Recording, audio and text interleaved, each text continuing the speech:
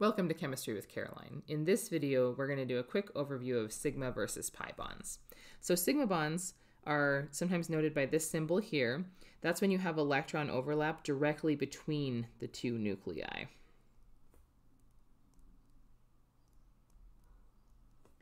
So that's what we think of when we think of like a single bond, right? When we draw just like a line in our Lewis structure or the two dots, um, that's a sigma type bond directly between those two atoms. So if we think about maybe a very simple hydrocarbon here, methane, we have just one carbon. I'm drawing the Lewis structure of it here, and you can see that I just have lines to all of the hydrogens. Those are all sigma type bonds. So there's two electrons in each one of those, and the overlap is directly between the carbon and the hydrogen atom. So once you have a sigma bond, you can't fit any more electron density directly between the two nuclei, and so it's going to have to go somewhere else. That is going to be in the form of a pi bond. A pi bond involves the overlap of electrons above and below, or in front and in back of the nuclei.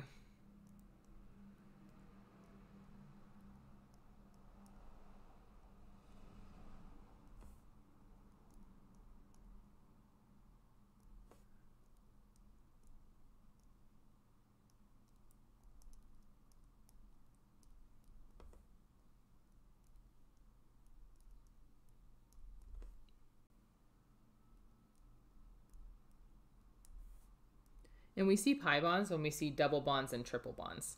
So um, if I have ethene here,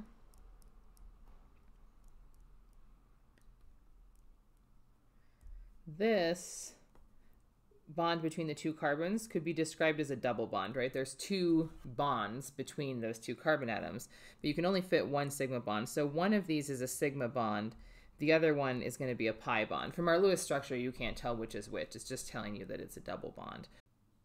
So I just scooted that guy over so that I can draw this another way so that we can take a better look um, at what the difference between the sigma and the pi bond is. So I drew the sigma bond between the two carbon atoms. I'm going to draw this thing kind of coming in and out of the screen at you as opposed to being flat on the screen as the depiction on the left is. It's planar, um, so it's in the plane of the paper, but we could tip it so it's out of plane. If I do that, I'm going to use wedges and dashes to show stereochemistry. So these wedges that I've just drawn are just a normal bond, but that indicates that it's coming out at you. So a wedge is sticking out at you. And then I'm going to use a dash to indicate the H's that are going back. So when you see a dash like that, those are going back behind the screen.